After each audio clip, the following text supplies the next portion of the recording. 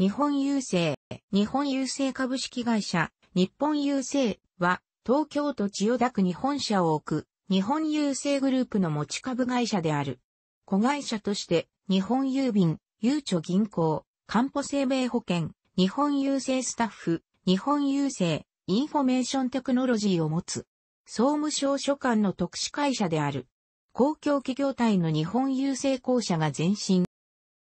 愛称は JP 日本郵政、A 通称は JP ホールディングズ。コーポレートカラーは郵政レッド。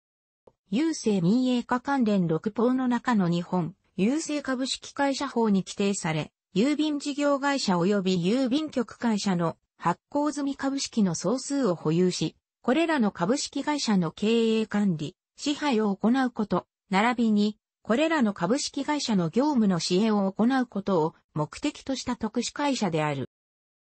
2007年10月1日に、郵政民営、分社化に伴い、日本郵政公社は解散。郵政産事業を含むすべての業務は、日本郵政株式会社及びその下に発足する4つの事業会社、郵便局株式会社、郵便事業株式会社、株式会社ゆうちょ銀行、株式会社かんぽ生命保険へ移管、分割された。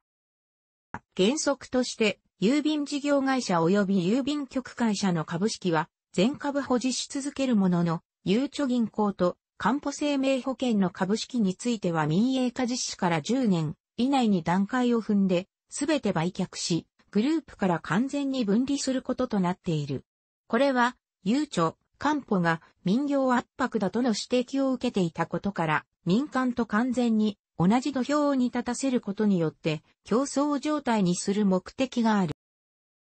第45回衆議院議員総選挙の結果、民社国連立政権へ政権交代が起こり、郵政民営化そのものが見直されることになった。2012年、平成24年5月、第180回国会で、郵政民営化法等の一部を改正する等の法律が成立した平成24年5月8日法律第30号。この法律の施行により、2012年、平成24年10月1日、郵便局株式会社と郵便事業株式会社は統合差日本郵便株式会社となった。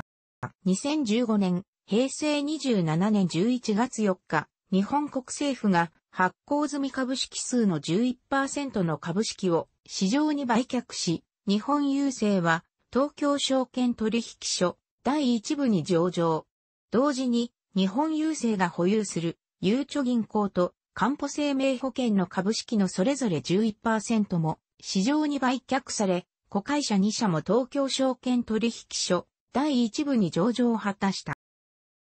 本社社屋の協商化や分散している拠点の集中などを理由に、2018年、平成30年をめどに、財務省が東京都千代田区大手町に保有している国有財産と日本郵政が東京都千代田区霞が関に保有している日本郵政ビルを交換することが決定しており、交換受財産である日本郵政ビルは国の庁舎として利用されることになっている。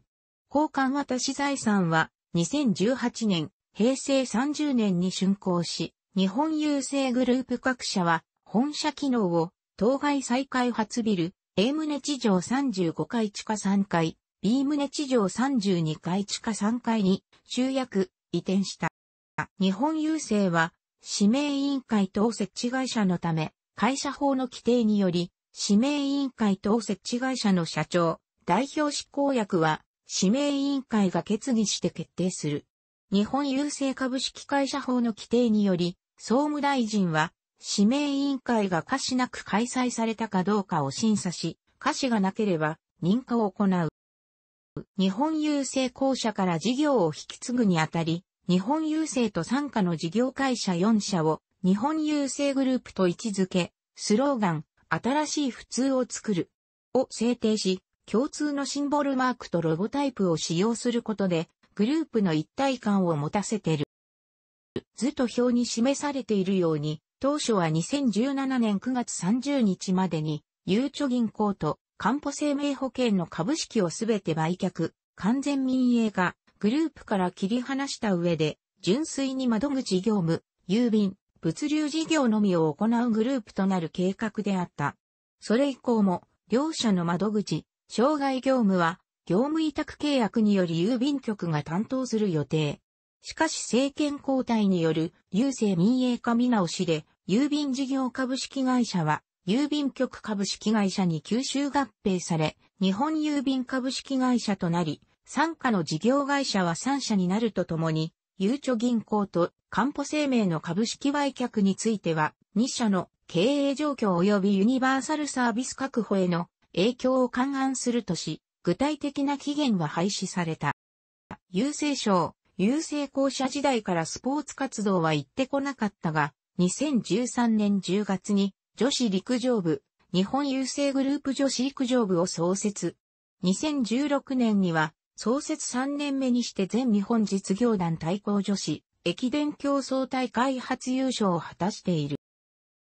2017年6月末現在旧日本郵政、校舎は事業別に以下の関連施設を有していたが、これらについては各事業会社ではなく、日本郵政が一括して事業を引き継いでいる。この際にもともとは愛称だった右側の名称が正式名称となっている。これらの事業承継後、日本郵政は旅館業法に基づき各都道府県知事の許可を受け、一般のホテル、旅館等として営業を引き継いだ。ただし、校舎時代末期に不採算施設を中心とした閉鎖、売却が進められ、残された施設のみを引き継いだ。民営化から5年後をめどに、再び閉鎖、売却の検討をすることが求められており、メルパルクについては2008年10月1日付で、運営が渡部ウェリング傘下の株式会社メルパルクに譲渡されている。施設保有権は日本郵政が引き続き有している。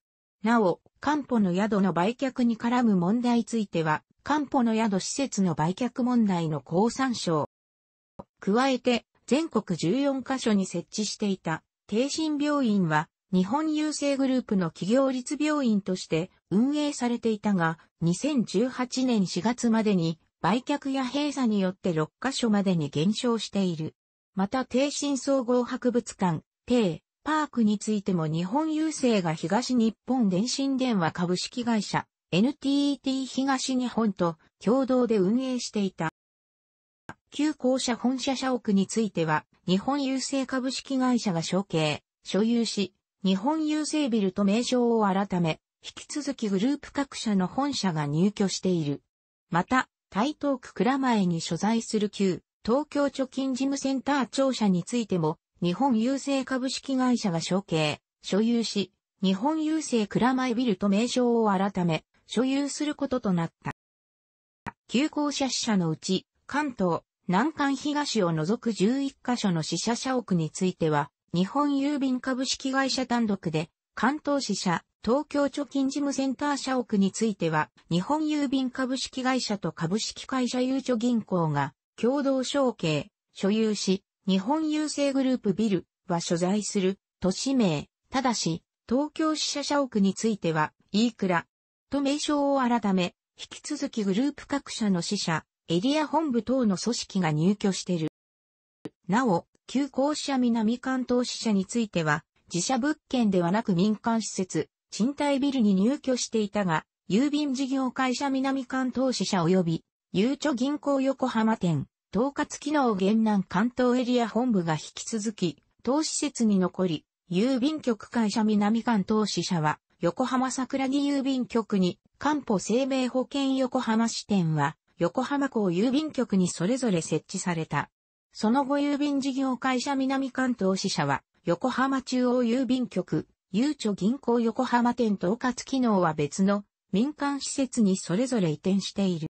郵便局における給与、歳入、歳出、契約及び切手等の人事、会計にかかる共通事務について、旧郵政省当時は、事務処理の機械化推進の過程で、全国233局の普通郵便局、指定局にて処理していたが、平成に入ってからは、共通事務新処理方式を導入、11カ所の共通事務センター、下表の通り旧地方郵政局ごとに1箇所の郵便局に設置及び、沖縄郵政管理事務所の計12カ所への事務処理中を数年度にわたって展開。その後組織が郵政事業庁、日本郵政公社と変遷してもおおむねこの方式を継続してきた。なお、切手に関しては、郵政事業庁当時にロジスティクスシステムの導入、展開により全国4カ所、北海道、東日本、西日本及び九州の物流センターへのさらなる事務処理集中が進み、2007年10月の民営化時点でもこの方式を継続している。そして、2007年10月の民営化を機に、熊本県熊本市の旧、熊本貯金事務センター庁舎に、人事、経理集約センターを設置、2012年11月1日、本社総務、人事部に置かれた、熊本管理事務所に組み、これまで全国12カ所にて、分散処理してきた人事、経理関連事務をグループ各社からの受託により、全国1カ所にて集中処理している。ただし、全国1カ所の集中処理に馴染まない共通事務については、グループ各社ごとに次の通り拠点を設けて、分散処理する方式が残された。など。第1期は2006年1月23日から同年3月31日までである。民営化後の日本郵政株式会社のサイトアドレスは、旧郵政公社のものを引き継いだ。楽しくご覧になりましたら、購読と良いです。クリックしてください。